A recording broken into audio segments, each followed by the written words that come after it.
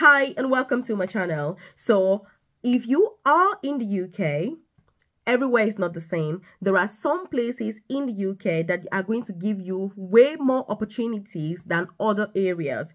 Simply talking about geographical location.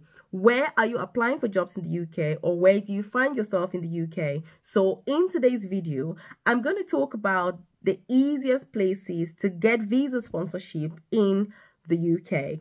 And by default, you're going to know the most difficult areas to get visa sponsorship in the UK. If you're watching this, for example, and you're wanting to move to the UK, which town or city would you like to move to? Please leave a comment in the comment section below so that I can say to you, is this a good place for visa sponsorship, generally speaking, or not. Because like i've said everywhere is not the same. If you're already in the uk also drop the place where you live in the uk so the town or the city and we're going to be able to debate on whether it is a good place for opportunities or not. And let me tell you when you're choosing a place to live in the uk it is not always about cheap. Cheap doesn't always mean best so you need to be very careful.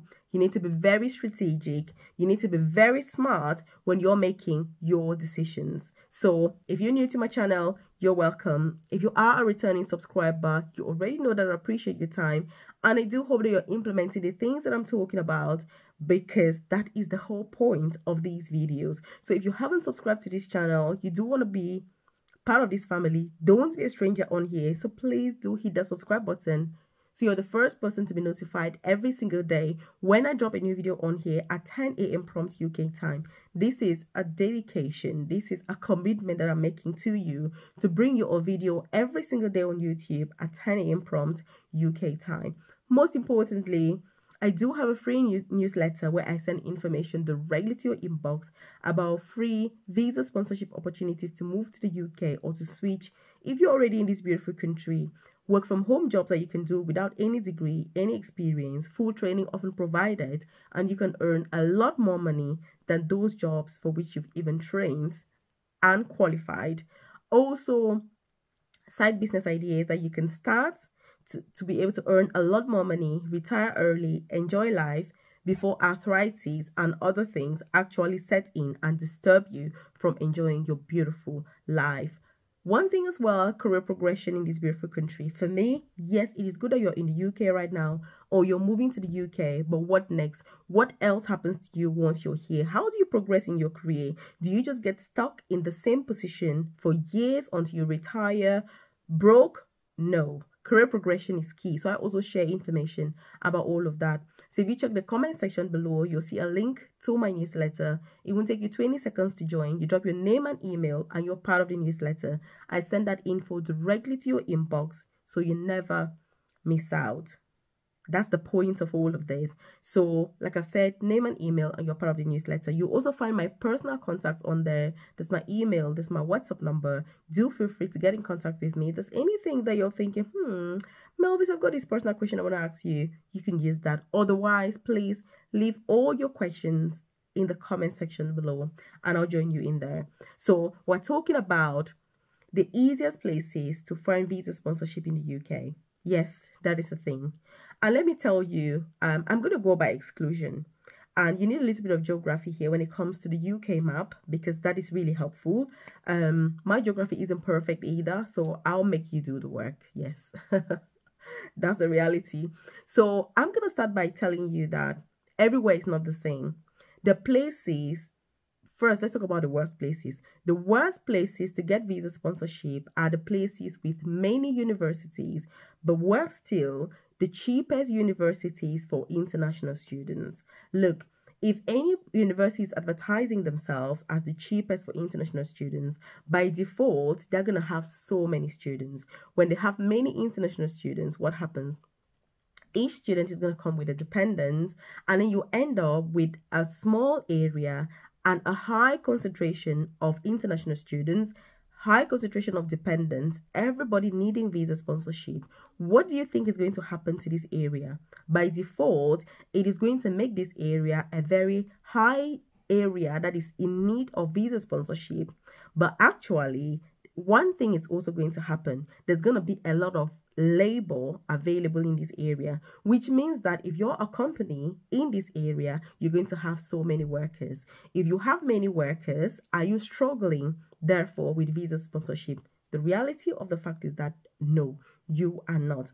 And let me tell you, people give visa sponsorship to overseas candidates, as in those genuine legit UK employers, is because they don't have a choice. It's because they are struggling. It's because they are stuck with jobs and they don't have workers. If they had the workers, they would not be giving visa sponsorship. And for this reason, it is very difficult, it's way more challenging getting visa sponsorship in places in the UK that have a high concentration of students, a high concentration, most especially of international students and that's because everybody wants to work. They want to work as much as possible. And so because of that there's a lot of workers in the system and you know that even if you don't give visa sponsorship people are still going to do the work. So if they're still going to do the work why offer visa sponsorship then?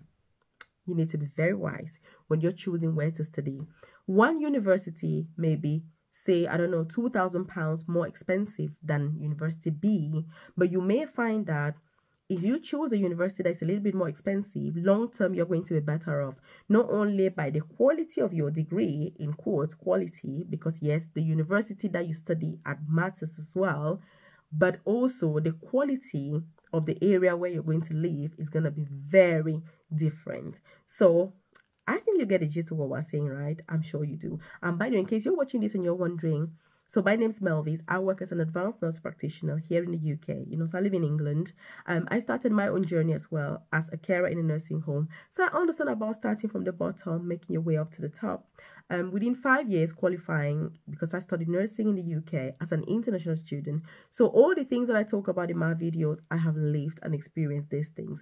I started from all of that to then studying in the UK and then working in the UK. So I've gone through all the stages that you can have as an immigrant in this country.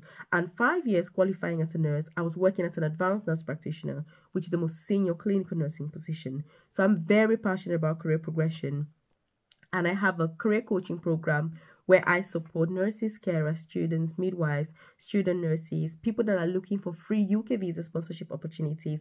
I support with career progression in the UK, securing those free visa sponsorship opportunities to move or to switch in the UK, um, work from home jobs that you can do from the comfort of your home to supplement your income as well.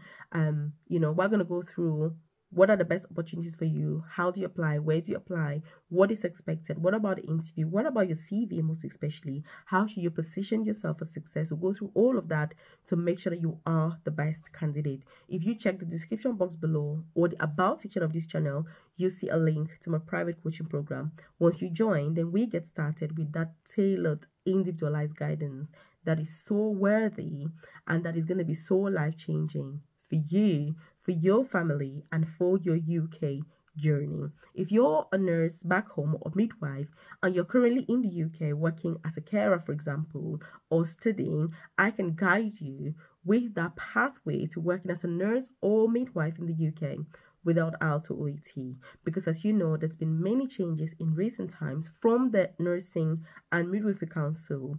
And so there are different pathways now that you can pursue in order to work as a nurse or midwife, obviously in the UK.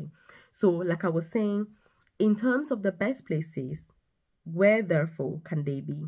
The truth is that if you look at the southeast of England and the southwest of England and kind of like the middle of the country, so like the Midlands, those are the best places when it comes to looking for visa sponsorship.